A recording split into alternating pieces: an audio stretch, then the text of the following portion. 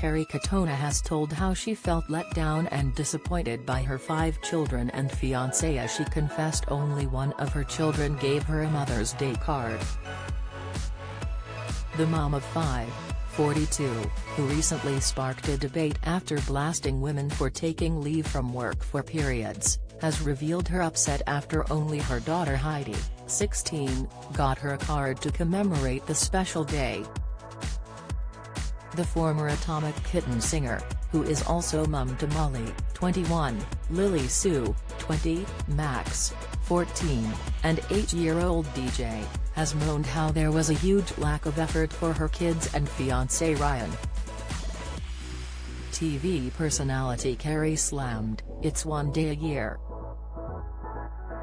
Us mums deserve to be showered with love. The OnlyFans star has been away from her kids a lot recently as she's been rehearsing for a pantomime tour with Dean Gaffney and Joanne Clifton. Telling of her disappointment, she wrote in her OK! magazine column, rehearsals mean I've been away from the kids a lot, and I was disappointed with them on Mother's Day. I was on tour so I wasn't at home. I felt really let down as I only got one card from Heidi. None of them rang me until later on in the evening. The Tally star has had a stressful few months as she recently told how she's been walking around on a broken foot without realizing after being in agony for months. She revealed how she fell over during filming for a TV show last year and broke her foot, but was none the wiser to the extent of her injury until recently.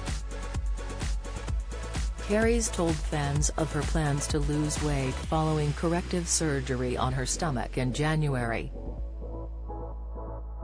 She has poked fun at herself, joking that she is still fat after kickstarting a new diet and exercise regime.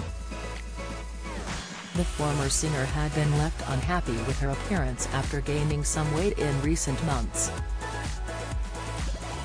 Taking to her Instagram stories, the TV personality told her followers that she was struggling to lose weight despite sticking to a strict new routine.